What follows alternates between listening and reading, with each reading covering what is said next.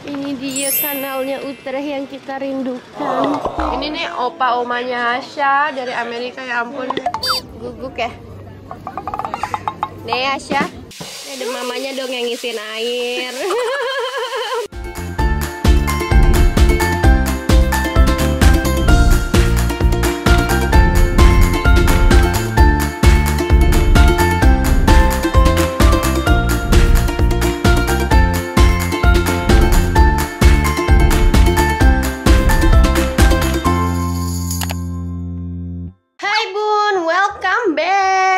guys, ini sekarang hari Rabu tanggal 22 Juni jam 10 kurang 15. 15 menit lagi aku mau berangkat. Kita harus pergi ke kota Utrecht karena masih ada urusan-urusan guys. Ini udah sebulan lebih ya, udah sebulan setengah, sebulan setengah, sebulan Hasya. Aduh, dia, suka banget pisang dong. Ya udah makan.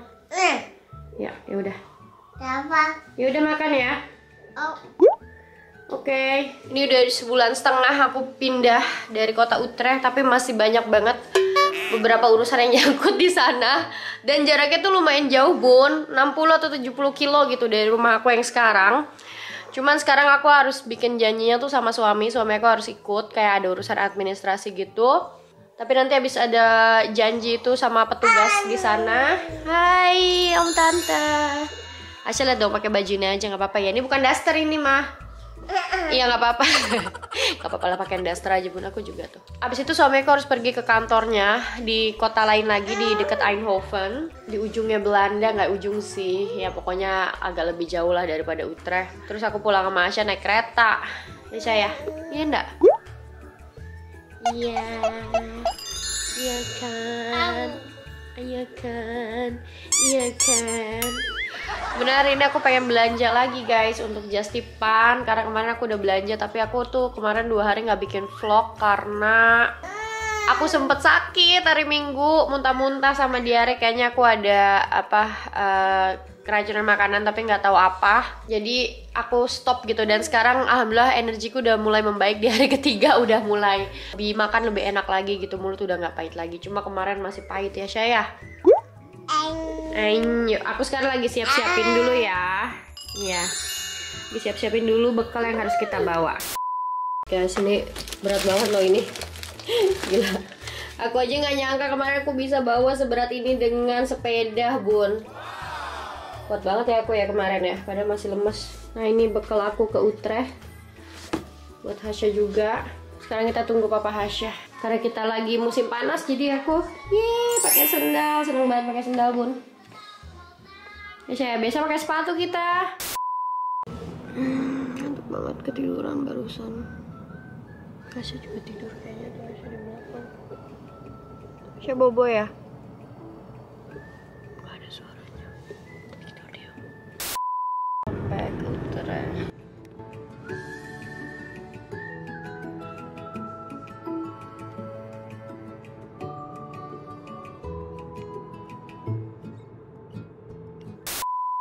Tunggu Asya. Kita nunggu sini dulu untuk janjinya ya. Yeay. Uh, mana papa? Papa lagi parkir ya. Bye papa. Yuk. Yuk. Mm. Ini dia kanalnya Utrecht yang kita rindukan. Kita mau ke mana nih Syah? Kayaknya aku lapar guys. Ini udah mau jam setengah 12 ya, lapar. Cari makan dulu lah baru pulang ke Zoetermeer lagi ya. Lumayan jauh soal perjalanan. Oh, itu kafenya udah ganti, udah bukan The Biren lagi.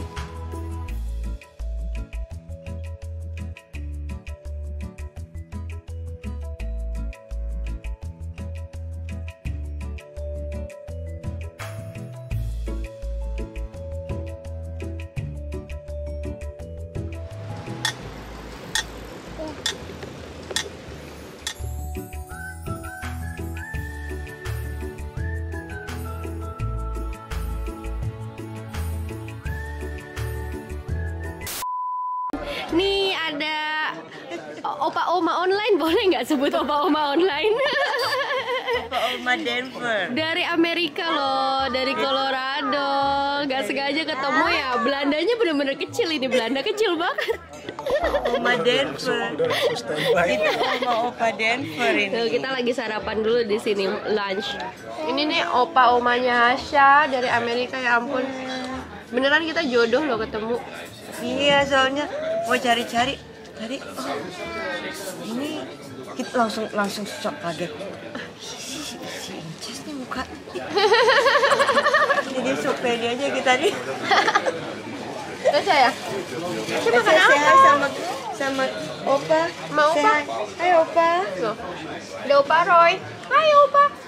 Iya. Hmm. Silakan. Ya. Ya, ini opa omanya mau mau pindah loh ya ke Belanda ya. Hah? Tinggal deket deket Asia aja deh. Ya, ya. Di lebih enak itu. Iya, lebih sepi. Terus aku space-nya lebih dapet ya gitu kan. Apalagi udah ada bestie kan. Iya, si Tiffany lebih deket bener enak banget. Guys, ini semuanya udah tahu loh cerita hidupku. Bestinya eh, itu lagi keren mobilnya tuh. Tapi di sini mobil eh, suami kalau kita terdaftar ya, partner yang terdaftar gitu resmi bisa dipakai sama istri.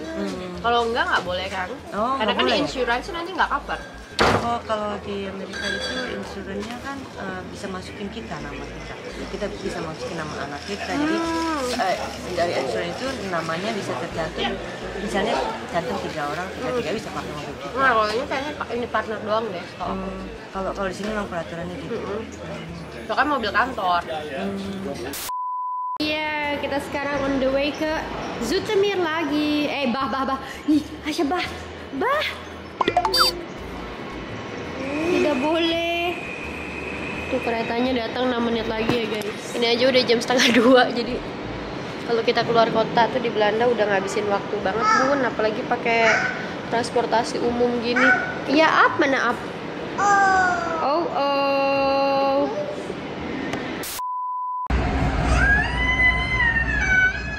jalanan satu jam ini harus bawa namanya siapa namanya Api Ap ya Ap itu artinya monyet ya guys. Jadi tadi aku mau duduk di sana tapi nggak bisa nggak jadi karena di situ eh, ada bacaan gini. Artinya nggak boleh ngomong di gerbong itu buat orang-orang yang lagi kerja atau lagi baca buku lagi dengerin musik gitu. Karena Asya berisik jadi aku duduk sini aja ya Asya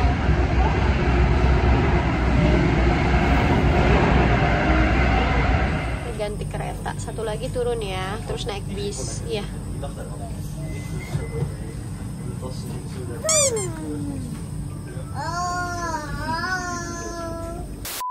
Dan aku lagi mampir mampir atau mampir belanjain barang Justipan ya Allah Hasya rempong banget guys.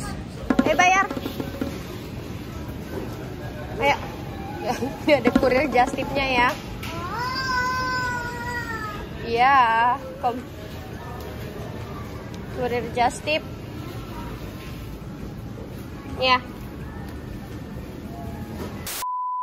Ya. Guguk ya. Nih Asya.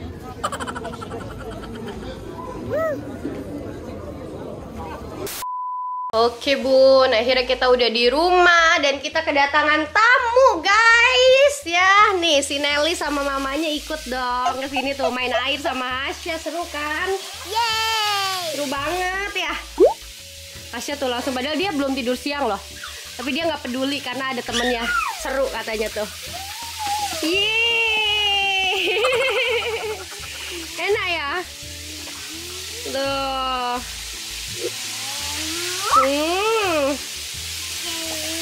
Ya Syah seru ya Syah? Iya orang seru lah. Iya. Enak kalau airnya banyak ya. Nah ini anak-anak kita pakein pampers ya guys, pampers untuk berenang. Jadi nanti kalau mereka pipis airnya nggak nggak kotor gitu. Jadi airnya masih tetap bisa di keep buat berapa hari. Videoin. Nah. Kenapa Nelis lihat tuh? Lihat tuh sama Asya tuh main tuh. Seru ya? Ada mamanya dong yang ngisiin air. Malu mamanya. Oh.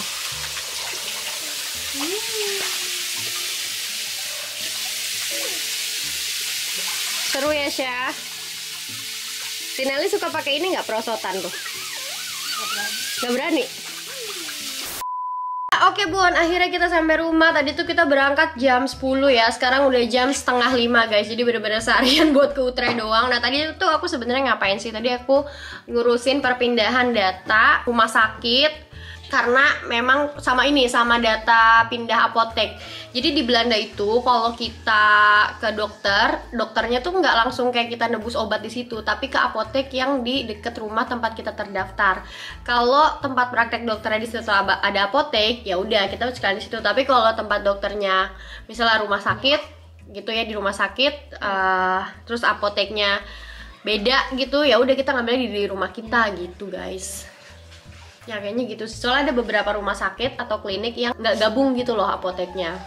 Terus tadi aku beli ini coklat-coklatan Justipan terus seperti biasa vitamin untuk pada promil lagi. Terus tadi ke dokternya aku ditanya kapan mau apakah mau mau program hamil lagi? Aku bilang aku lagi sibuk buat eh, persiapan ngambil SIM mobil. Karena di sini tuh kayak tax time, tax energy, tax money banget untuk punya SIM mobil terus katanya ya udahlah uh, coba mungkin tahun depan kali ya aku bilang gitu kan. Ya udah nanti kasih tahu aja karena memang kan waktu itu kelahiran Hasya kan juga nggak dibilang nggak yang mudah gitu ya. Hasya sempat nyangkut sempat lima hari di NICU gitu di ICU buat baby. Dan aku pas kalau aku kalau aku ke dokter aku cerita tentang itu aku tuh pasti nangis gitu. Aku selalu inget gimana waktu itu proses melahirkan Hasya uh, saya bilang ya udahlah kalau gitu nanti kamu kita pindahin aja semua datanya ke rumah sakit terdekat. Sebenarnya kalau untuk orang-orang yang sehat-sehat aja itu nggak perlu langsung ada datanya di rumah sakit guys. Karena uh, di GP pun atau di dokter umum di family dokter kita itu udah cukup gitu. Tapi kalau untuk orang-orang yang pernah kena penyakit apa atau pernah di terapi apa segala macam nah itu datanya dipindahkan ke GP dan juga ke rumah sakit yang uh, mereka yang menangani lah gitu istilahnya. Aku susah bun. Soalnya itu pakai bahasa Belanda ya bun ya. Uh, nah tadi aku juga nggak nyangka aku ketemu sama Om Roy dan istrinya karena mereka katanya udah DM aku di Instagram tapi aku nggak balas-balas karena memang nggak bisa aku balas satu-satu dan pasti ketumpuk. Aku nggak tahu orang yang DM aku tuh siapa. Kalau kebetulan aku lagi buka pas itu ya udah ketemu. Terus aku ketemu juga sama si Nicole. Tadi dia sebenarnya udah telepon aku tapi nggak keangkat karena pas dia telepon aku lagi ke dokter. Terus aku uh, handphoneku juga agak lowbat tuh langsung aku charge aku nggak telepon balik. Eh pas aku ke city center Zutemir malah aku papasan sama dia. Jadi ya udahlah. Anaknya main sekalian kayak gitu uh, sama Hasya karena anaknya seumuran sama Hasya cuma beda satu bulan. Uh, Hasya lahir November anaknya lahir Oktober gitu. Um, so far pindahan ini udah sebulan setengah masih banyak urusannya perpindahan-perpindahan data kayak gini. Karena pas pertama kita pindah rumah itu di Belanda kita harus daftar ke wali kota setempatnya kan kalau misalnya di Indonesia mungkin ke RT RW kelurahan ya. Kalau sini ya langsung ke kantor wali kota gitu uh, mendaftarkan diri kalau kita tuh jadi warga sini. Terus abis itu nih kita daftar juga ke family dokter atau dokter umum setempat gitu yang terdekat sama rumah kita. Kalau di Indonesia kan setahu aku kita mungkin kalau orang biasa ya kayak aku ya jarang punya yang bener-bener family dokter yang udah langganan gitu yang udah pasti data kita di situ. Karena kan kalau di Indonesia kita bisa gampang ke dokter mana aja selama itu mereka menerima BPJS atau bisa dibayar gitu kan dibayar pakai uang sendiri. Nah kalau di Belanda tuh semuanya sistemnya pakai sistem asuransi atau BPJS. Jadi kalau misalnya kita mau uh, ke dokter umum atau ke dokter yang khusus untuk uh, kayak dokter spesialis itu harus ada rujukan semuanya dari dokter umum dulu gitu. Dan itu kalau dokter umumnya harus yang sudah kita terdaftar menjadi pasiennya dia. Nah kemarin pas kita pindah itu kita harus nunggu sekitar 3 sampai 4 minggu sampai kita bisa ada slot untuk daftar di dokter umumnya. Karena mereka sudah full gitu guys ya terus juga ke apotek kita belum terdaftar ke apotek dekat sini. Makanya tadi aku bilang oh iya nanti kalau misalnya aku nanti kan aku pas hamil tuh aku pakai obat guys. Pakai obat pengencer darah. Karena aku ada riwayat preeklamsia dari ibuku gitu kan. Jadi aku pakai kinder aspirin atau aspirin yang buat anak-anak. Aku minum dari usia kehamilan 14 sampai 34 minggu. Nah, itu nanti uh, mereka bakal kirim. Kalau misalnya aku butuh obat-obatan, mereka langsung bakal kirim ke apotek yang sudah aku terdaftar gitu. Overall ya hari ini aku udah sibuk banget. Terus abis ini aku bakalan mau nyuci baju baju-baju aku aja karena suamiku tuh nggak suka kalau aku nyuci baju dia atau baju seluruh isi rumah ini karena katanya aku nyuci bajunya beda sama dia. Kayak dia tuh harus di habis dicuciin harus di kibar-kibar gini lah ke masuk uh, masuk ke mesin pengering dan segala macem. Kalau aku ya udah tinggal masuk masukin aja itu dia nggak suka kayak gitu. Uh, jadi aku mau bakalan cuci sendiri. Mumpung Hasya lagi ada main bareng sama temennya aku mau cuci baju.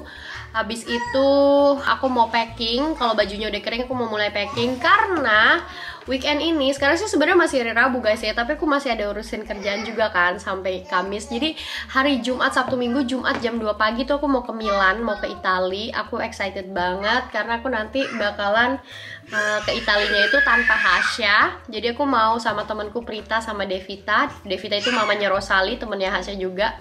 Rosali juga ditinggal so bakalan first time banget aku selama aku jadi ibu uh, aku bakalan pergi tanpa anak jadi Hasya bakalan sama opa omanya pas hari Jumat dan Sabtu Minggu bakal sama papanya. Um, ya mungkin kalau teman-teman di uh, kalau di Indonesia mungkin kayak bakalan bilang kok bisa sih pergi tanpa anak? gitu kan. Tapi ini yang encourage nih ya mertua aku sendiri guys gitu. Jadi ya udah aku sih happy happy aja. Terus um, harusnya kan aku mulai masak lagi buat tetangga ya. Minggu kemarin udah mulai dua kali. Nah minggu ini stop karena uh, lagi libur dulu. Karena langganan aku juga lagi liburan. Nah orang-orang tuh kalau di musim panas kayak tadi teman-teman lihat tuh rame banget di city center apalagi cuaca bagus gini ya. Orang Belanda tuh bertebaran keluar rumah terus juga mereka menikmati matahari makan es krim uh, main air. Tuh kayak anak-anak kita biarin main air. Kalau aku sendiri sih tadi aku mampir-mampir sekalian aku belanja yang di Justipin nih kayak gini-gini ya. Ngumpulin recehan aja lah bun sambil keluar rumah ya nggak kayak gini-ginian tuh. Daripada aku cuman jalan-jalan keluar tapi nggak jelas gitu ya udah ada yang dibeli tapi udah udah pasti itu udah ada yang pesen gitu kayak untuk order Nah teman-teman yang mau order barang Justipan bisa WA ke admin aku Nanti aku taruh uh, nomor adminnya uh, Atau bisa cek di Instagram aku @nandagita16 dan uh, @mamavanhasya di situ semua barang-barang Justipan aku dari Eropa atau dari Belanda ke Indonesia. Ribut guys, pusing. Gitu bun.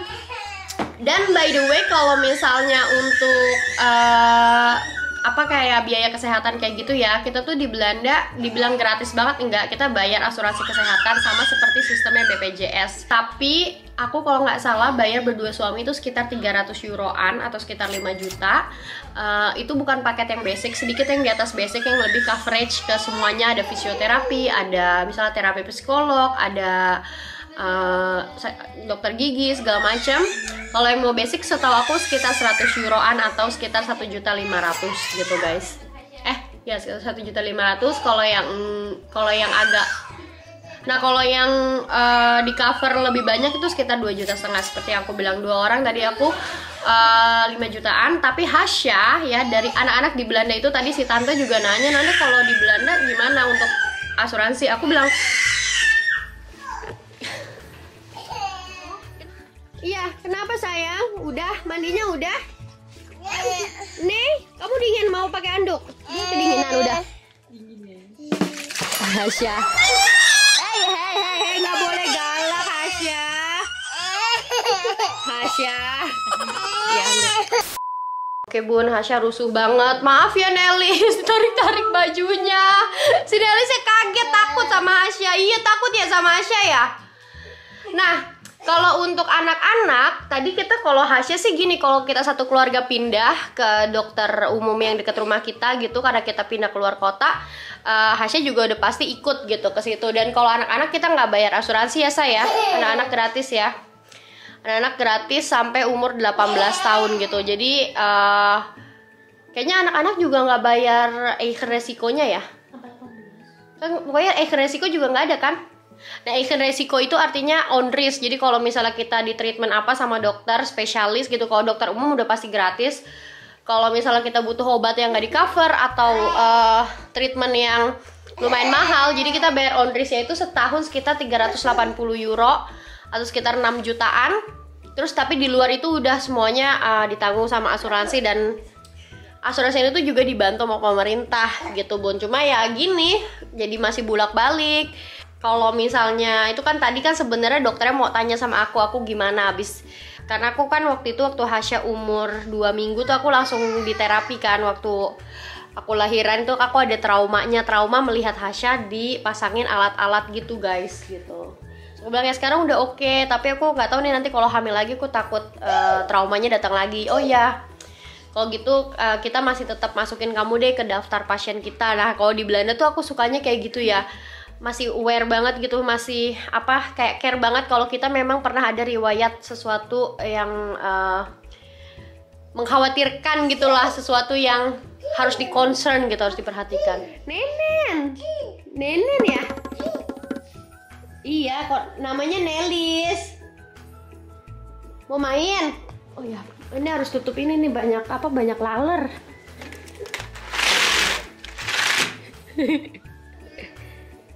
dia mau main keluar. Ngantuk ya si Nelis? Guys udah ya segitu dulu ya guys.